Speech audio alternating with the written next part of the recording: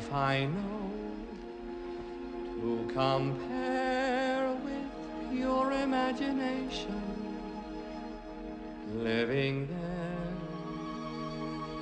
You'll be free if you truly